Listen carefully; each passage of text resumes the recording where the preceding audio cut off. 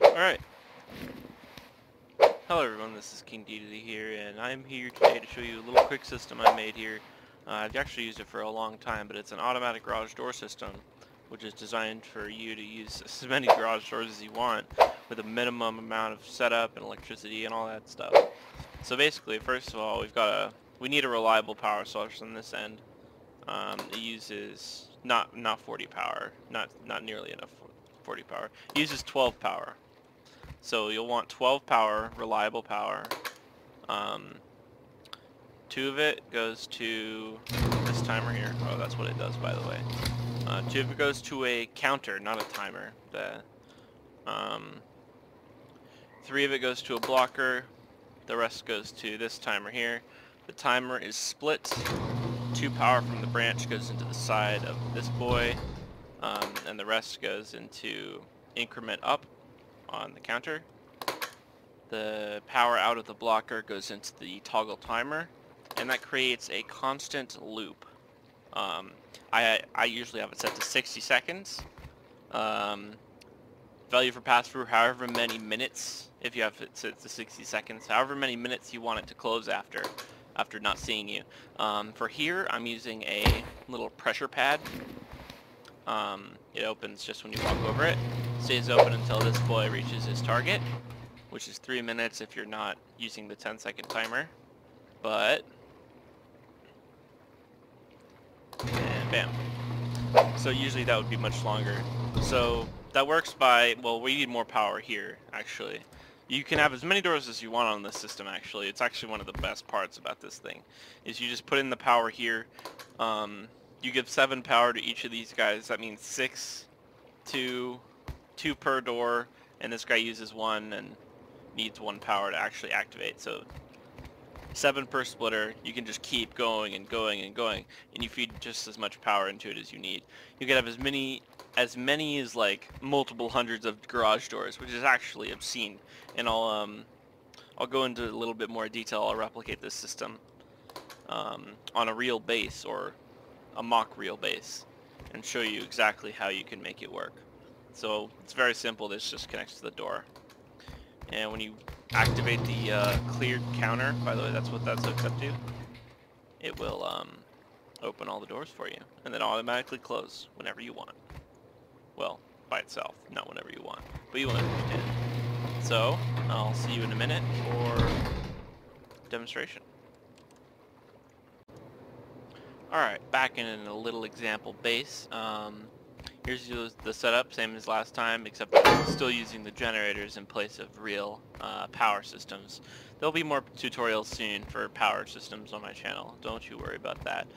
But anyways, I've divided the system into a couple of basic components. So power distribution, the timing, the logic, the detection, um, and the distribution. So I'll give a little demonstration first. Um, this is it's not it's not actually um I, I was in there testing it a moment ago so it should close in a moment and then I can demonstrate it for real. Come on now. Faster. This is on the one minute timer so it does take three entire minutes for it to close. Um, in the meantime what loot have I got back here? I forgot.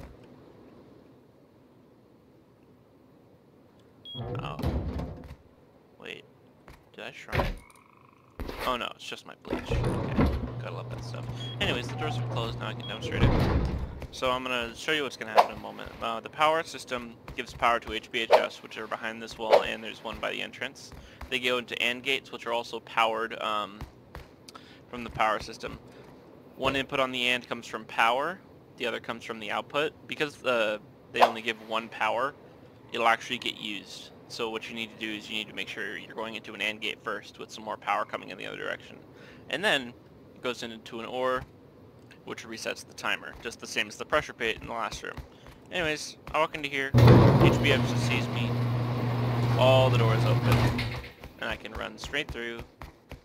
I have plenty of time to dilly-dally. I have three entire minutes. You can choose however long you want it to be. And then it resets again as soon as I get to this end here.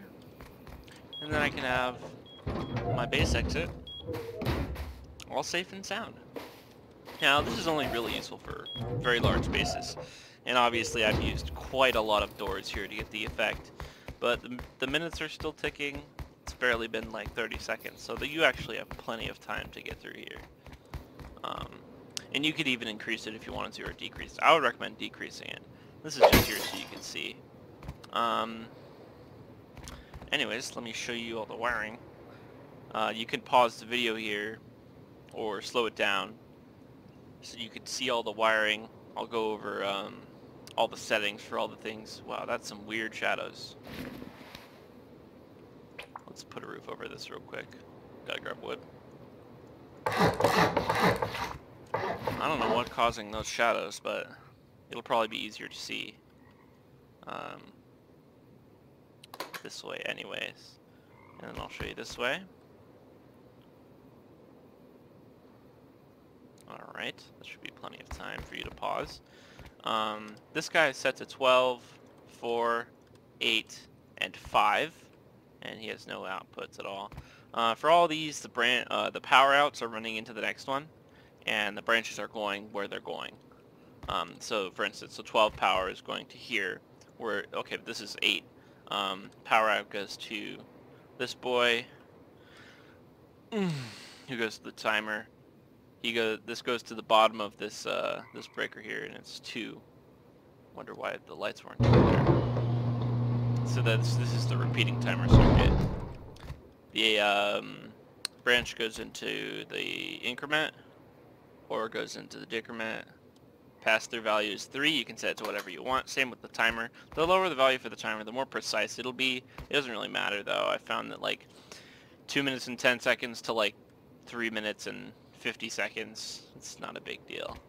Um, if you get deeped on, you can have these guys, uh, the HBHFs, set to not detect others. That's actually very, very good idea. You don't want people just walking into your base. Um, all of these here are set to 7. Uh, the splitter takes 1, sends 2 to each of the doors.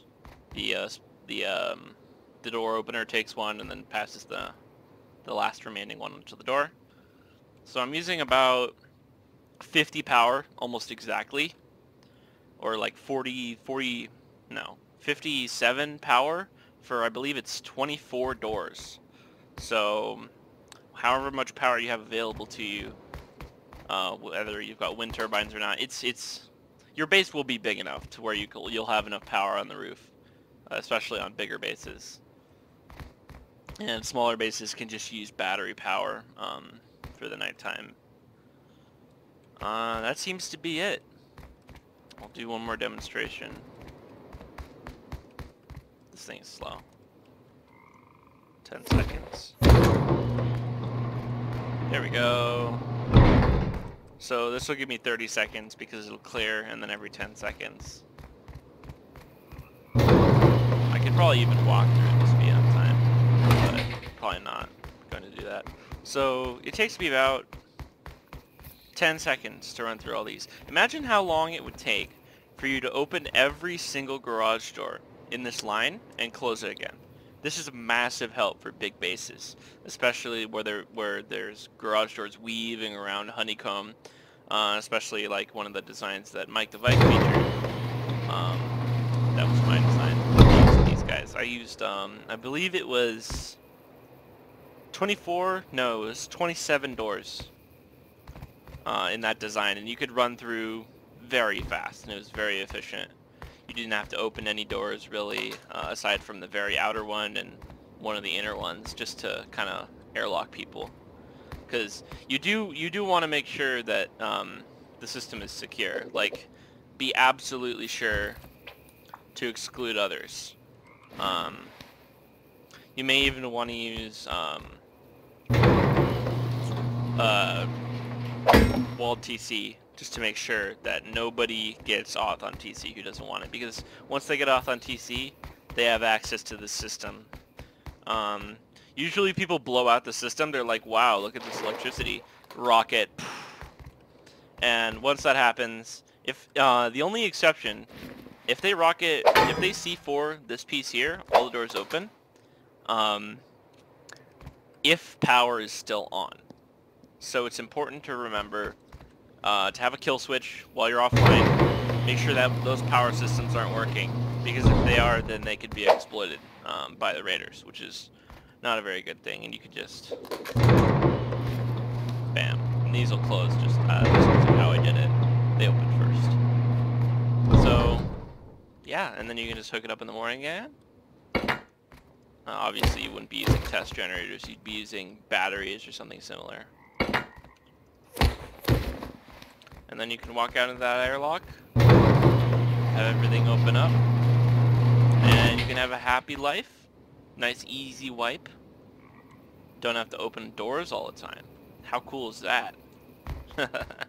Anyways, this has been King DDD. I'll see you all next time with some more practical electricity.